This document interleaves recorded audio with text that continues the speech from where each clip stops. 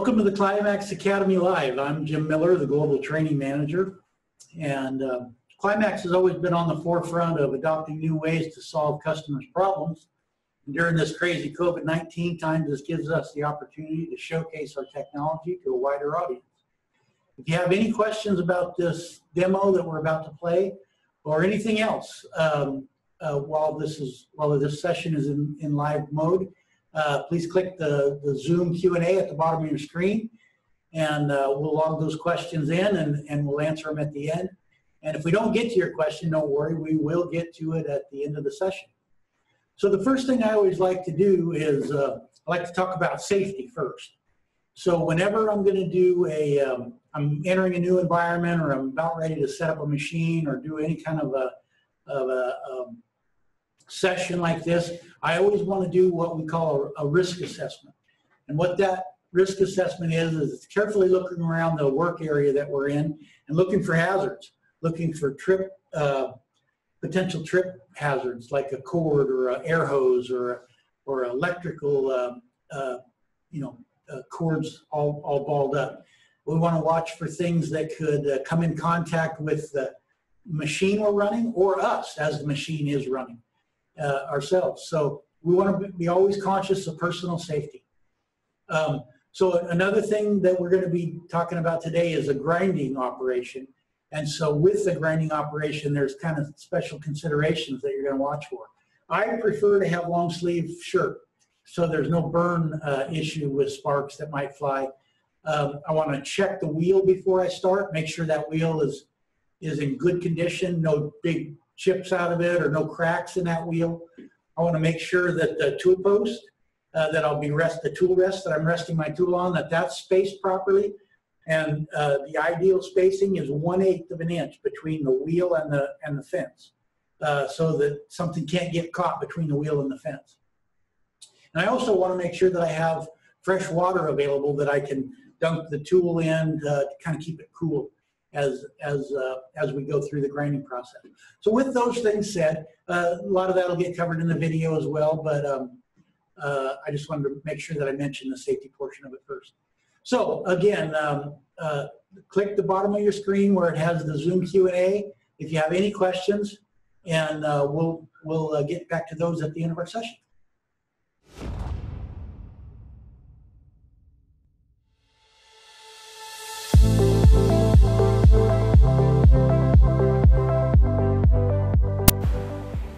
Hi, my name is Jim Miller, and I'm the Global Training Manager for Climax Portable Machine Tools. And today we're going to talk about uh, one of the things we get a lot of questions on is um, I want to use a high-speed tool bit, uh, but how do I sharpen that tool bit? So let's just go through a little brief uh, demonstration of, of how that works. Uh, right here, we're standing in front of our, our bench grinder. It's got a, a dual-sided uh, wheel. I can have a one coarse grain on one side and a medium grain on the other. Uh, these are aluminum oxide wheels for high-speed steel. And uh, you want to make sure that you comply with all your safety features of the facility you work in. We want the, the guards to be in place. And we also want to make sure we have a fresh water supply so that we don't get the tool bit too hot. So if you'll come with me, we'll go ahead and zoom in and I'll, I'll just show you my method for sharpening a tool bit. So there's a couple of things that I would recommend that you uh, see about obtaining, and one of them is a star dresser. Uh, what this allows you to do is maintain a nice clean cutting edge on your grinding wheel. I've just sharpened this so I won't do it again, but I set it on the gate and as the wheel's rotating, I'll just feed it lightly back and forth across the wheel to make sure I have a nice straight angle. Another uh, a nice investment, a low low cost investment, is a, uh, is a bevel protractor, the ability to measure the angle that I'm putting on the wheel. Uh, these are uh, real va valuable in being able to measure an exact angle that I want to put on the cutting edge of the tool. Okay, so we're going to go ahead and demonstrate just sharpening a standard uh, 15 degree lead angle tool bit. So, um, so what I like to do is I always like to have the cutting edge up so that I can see when I'm just cleaning up that edge. Now this tool is not too bad, but you can see that it's got a little bit of buildup and that it got a little bit of heat on that uh, tip. So we're just going to touch this up and I'll kind of walk through the, the way that I look at this. So I'll go ahead and turn my machine on, make sure my guards are in place, make sure that my gate is set properly, no more than an eighth of an inch. So the first thing I'll start with is the end relief. What I do is I just lightly bring the tool against the tool, the grinding wheel, and uh, you'll notice that the sparks start coming over the top of that edge. I want to make sure I have a nice clean edge there.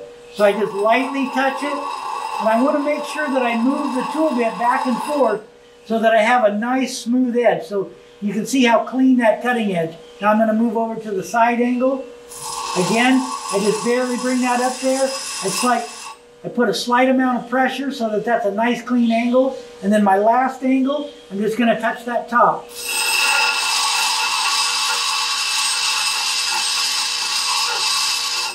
So now I've got a nice clean cutting edge, just a little bit more.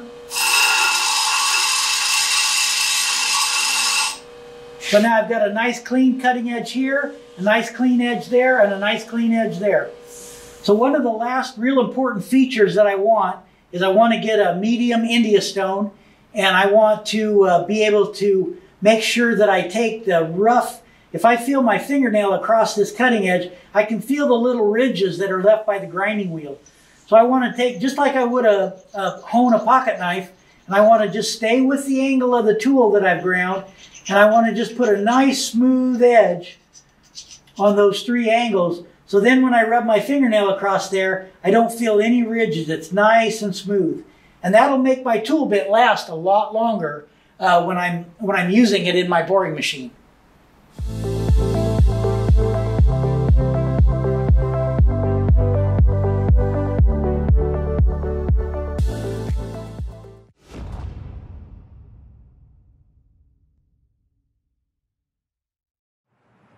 Okay, so now that we've watched the video, uh, we can go into our question and answer time. And so uh, uh, Jacob's going to be uh, uh, fielding the questions for me and asking them, and then uh, we'll go ahead and jump into that first question. First question, Jim, can carbide be sharpened? Can carbide be sharpened? Yes, it can. Um, now, you do need a what we call a green wheel or a, a silicon carbide wheel um, or, a, or a diamond wheel uh, to sharpen carbide. But generally, uh, inserts are not a good candidate to be sharpened. So when we talk about just sharp carbide in general, I'm referring to a, a brazed carbide, which is the uh, a, a, steel shank with a with a brazed piece of carbide uh, uh, attached to the end of it. So uh, so this type of tool is a candidate for being sharpened with the proper wheel. That's a, that's a good question. Next question, Jim. Do the angles have to be exact? No, the angles don't have to be exact. Um, the, uh, the, the, the factory grind on a, on a zero lead is five degrees top, five degrees uh, lead angle, and a five degree end relief. That's a good rule of thumb, but it's not a it's not an exact science.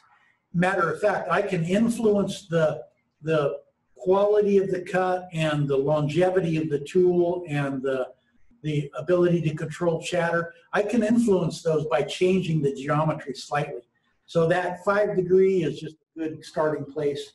Likewise with the, the 15 degree lead tool, uh, it has a 15 degree lead with a five degree uh, front relief and a 10 degree heel angle and a 15 degree top rake. So those also be modified slightly to influence the way that the material can flow or be excavated from the cup. So uh, yeah, that's pretty much on the angles. What tools are better recommended uh, for harder materials like stainless steel? And are the sharpening angles still applicable? Yeah, that's a good question too. Um, so um, really it depends on the material condition. It's not just the material type. So the harder the material, the more heat that it's going to create when we cut. So uh, carbide is designed in such a way that it manages heat much better than high speed. And the better quality the high speed, uh, in other words, the cobalt content, um, the higher the cobalt content, the more heat it can withstand. So, so in general, uh, both can cut harder material, but it does require that you decrease the RPM. And uh, maybe you have to almost increase the feed rate, uh, but a lighter depth of cut. So, so the answer is yes. Both tools can cut harder material like a stainless or a, or a harder um, high carbon steel, uh, but you appropriately have to set your RPM and your feed rate to um, to get the best uh, use from either one of those tools. What grit do you recommend for the grinding wheels? Yeah, okay, so um, in the video that we did earlier, um, you saw that I have a wheel on either side of the grinder, of the bench grinder. I prefer to have a 40 grit on one side and a 60 on the other. Um, and that way I can do like the coarse work, the higher metal removal on the 40, but it leaves a rough finish, and then go to the 60 for the fine finish work and the and the uh, uh, the end you know result because I'm taking less material off.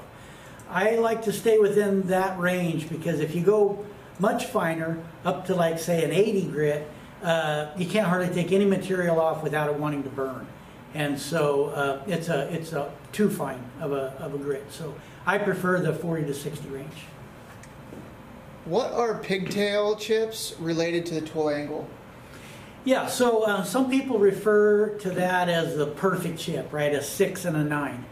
And, and what creates that is the, the metal curling and then breaking off. So it's really not the angle as much as it is a combination of the RPM, feed rate, and depth. And so oftentimes, uh, on a given cut, if you have a long stringy chip, you can increase the feed and that starts breaking the chip. Um, but again, it's, it's not the angle as much as it is that combination. Now, one thing that some guys will do um, that, you know, kind of the old school way is to put what we call a chip breaker on top of the tool or influence the top rake. And that can help uh, with curling the chip and breaking it. But it also degrades the tool, it makes it a little weaker. So, um, in general, uh, a, a, chip breaker does help with that. Um, but, uh, but it really is the influence, the main influence is combination of RPM, feed rate, and depth. How deep material removal is recommended to keep a tool bit sharp longer? Okay, so um, it really doesn't, the depth of cut isn't the main uh, factor in uh, keeping the tool bit sharp longer. It's really the RPM uh, because all metal, uh, all, all material types for tooling will break down with heat and friction. And so uh, carbide generally will withstand higher heat than high speed, and there are multiple grades of high speed that allow uh, to withstand more heat, temperature, or more heat, and, and generally it's the higher cobalt content. So uh, it, it, it, really isn't the angle as much as it is the, uh, the RPM. And sometimes we refer to that as surface feet per minute, and that's a combination of RPM and the diameter. Uh, because the same RPM at a small diameter is a higher surface feet than a, or a lower surface feet than a same RPM at a larger diameter because it's covering more surface. So hopefully that answers that question. Are the grinding wheels required to be in balance or balanced before grinding? Yeah, not so much on a bench grinder. A bench grinder is generally just a straight arbor uh, that clamps uh, the wheel onto the arbor. Uh, you don't really worry so much about balance until you get into like a surface grinder or a cylindrical grinder. Uh, but in general, no, a, um, a bench grinder doesn't require the wheel to be balanced. Do you have any way to calculate the ideal tool according to the required torque? Yeah, no, that's really not a, that's a tough thing to do because there's so many variables. In general, I think the better rule of thumb to keep in mind is that for every horsepower, uh, you can remove about a cubic inch of material. So um, that's probably a better formula to keep in your mind that if you have a two horsepower motor, um, you know, the, your maximum is going to be about two cubic inches. And that's not even exactly accurate because there's some loss in efficiency. Um, and with that all being said, the, the, once you get into the higher horsepowers, it gets kind of interesting. The more horsepower you can put to a single point tool, it it causes some funny things to happen and, and it doesn't react. It's not scalable, in other words. So, in general, keep that, that one horsepower per cubic inch in mind, but, but you're going to start limiting that once it gets up into the higher, uh, higher horsepower. Okay, so uh, looks like uh, that's the last of the questions um, for this session. And I would like to encourage you to stay tuned for more learning opportunity in the coming weeks. Uh, if if uh, you have a question after this session's over and uh, would, would like to get us uh, to, to comment on it uh, um, after this, uh, please submit that to askcpmt at cpmt.com and we'll be sure to get that back to you. All right, well, I really appreciate your time. Thank you very much. And stay safe out there and have a great week.